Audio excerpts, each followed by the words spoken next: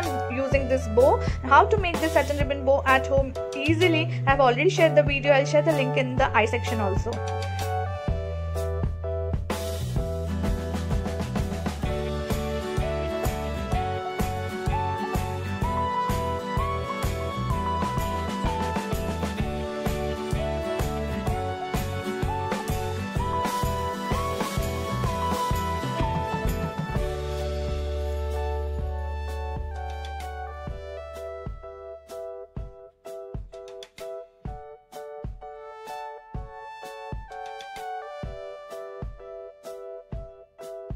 So here it is friends, our batch is ready. Isn't it looking so beautiful and it was easy to make with satin ribbon and pearls and hot glue. That's it what we need for this beautiful batch making and here is a safety pin and you can give this kind of badge to your teachers on this teachers day.